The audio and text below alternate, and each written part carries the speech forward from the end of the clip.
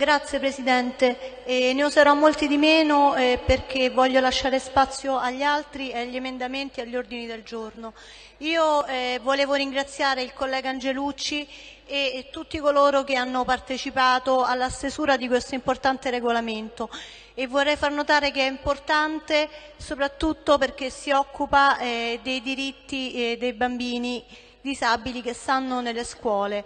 quindi eh, è un grande, un importante passo avanti in un ambito in cui non c'era regolamentazione, in un ambito in cui non c'era, come ha fatto notare anche eh, l'assessora,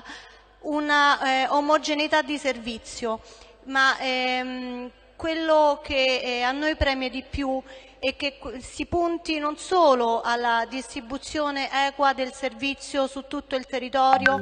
con eh, delle eh, modalità ehm, ben precise,